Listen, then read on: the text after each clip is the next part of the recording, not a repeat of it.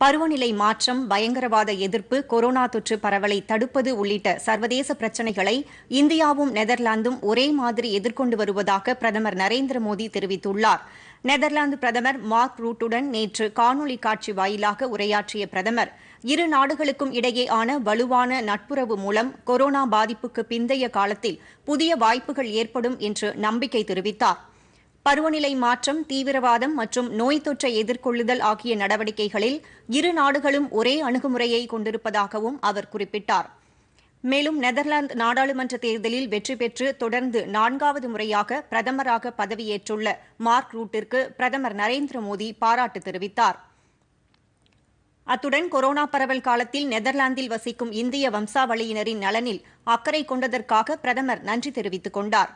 பல்வேறு துறைகளில் இந்தியாவும் நெதர்லாந்தும் ஒருங்கிணைந்து பணியாற்றி வருவதாக தெரிவித்த பிரதமர் மோடி முதலீடுகளை அதிகரிப்பதற்கான நடவடிக்கைகளை மேற்கொள்வது இரு நாடுகளுக்கும் இடையேயான பொருளாதார ஒத்துழைப்பை மேம்படுத்தும் என்று குறிப்பிட்டார்.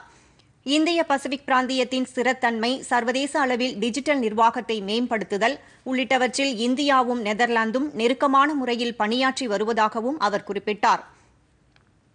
ஜனநாயகம் சட்டத்தின் அடிப்படையிலான ஆட்சி சுதந்திரம் உள்ளிட்ட கொள்கைகளின் அடிப்படையில் இரு நாடுகளுக்கும் இடையேயான நல்லுறவு அமைந்துள்ளதாகவும் விண்வெளி உணவு பதப்படுத்துதல் வேளாண்மை உள்ளிட்ட பல்வேறு துறைகளில் இரு நாடுகளும் ஒத்துழைப்புடன் செயல்பட்டு வருவதாகவும் பிரதமர் அப்போது கூறினார்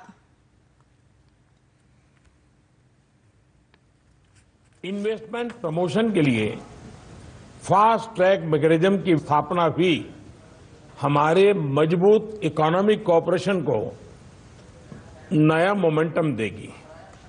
मुझे विश्वास है कि पोस्ट कोविड काल में कई नए अवसर उत्पन्न होंगे, जिनमें हमारे जैसे लाइक माइंडेड देश आपसी सहयोग बढ़ा सकते हैं। முன்னதாக பேசிய நெதர்லாந்து பிரதமர் மார்க் ரூட் கொரோனா பரவல் காலத்தில் இந்தியாவில் உள்ள நெதர்லாந்து முதலீட்டாளர்களுக்கு இந்தியா அளித்த ஆதரவிற்கு பாராட்டு தெரிவித்தார். கொரோனா தடுப்பு மருந்து செலுத்தும் பணியை இந்தியா சிறப்பாக செய்து வருவதாகவும் நெதர்லாந்து பிரதமர் பாராட்டு தெரிவித்தார்.